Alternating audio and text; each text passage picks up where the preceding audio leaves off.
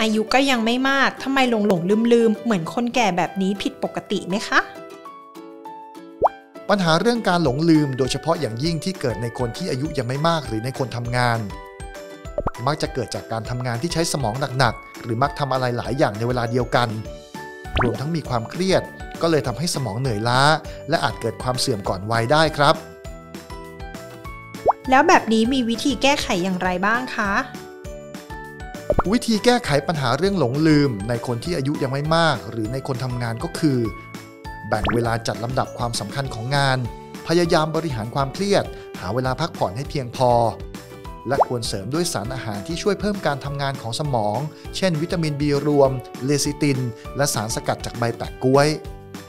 เพราะสารอาหารเหล่านี้ครับ มีส่วนช่วยในการเพิ่มสารสื่อประสาทในสมอง ช่วยเพิ่มการไหลเวียนของเลือดไปเลี้ยงสมองได้ดีขึ้น